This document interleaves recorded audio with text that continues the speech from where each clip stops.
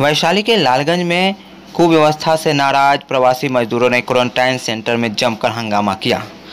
मजदूरों ने सड़क पर आकर डेस्क बेंच से सड़क को जाम कर दिया तथा जमकर नारेबाजी की।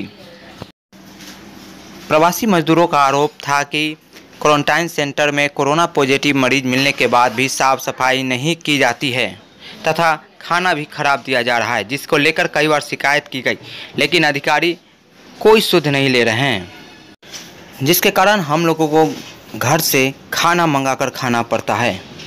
मजदूरों के हंगामे और सड़क जाम के कारण लालगंज में अफरा तफरी का माहौल बन गया गली गली में सर है गली गली में सर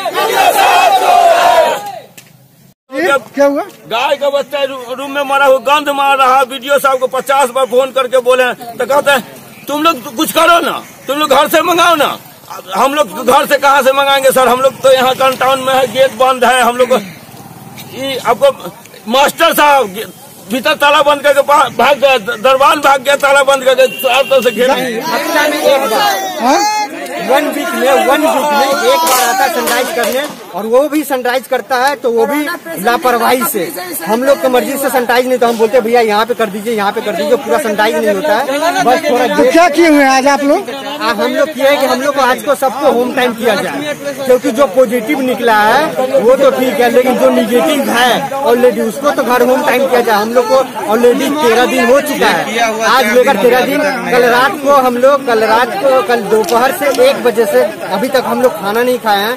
और आप खाना का रिपोर्ट देख लीजिए। खाना अभी आया है? खाना नाश्ता नहीं आया है न नाश्ता आया है न कल रात को अभी तक मॉर्निंग में ब्रेकफास्ट नहीं मिला है। दोपहर को हमको लगता नहीं कि खाना मिलेगा। प्लस क्या है खाना? पूरा कचरा खाना है। दाल में दाल में मार मिलाया जा रहा है। सब्ज़ी एवरी डे एवरी डे दो ये दोपहर को और रात को आलू का सब्ज़ी। एवरी डे तेरह दिन दो आलू और है? मेरा नाम मुन्ना शाह है।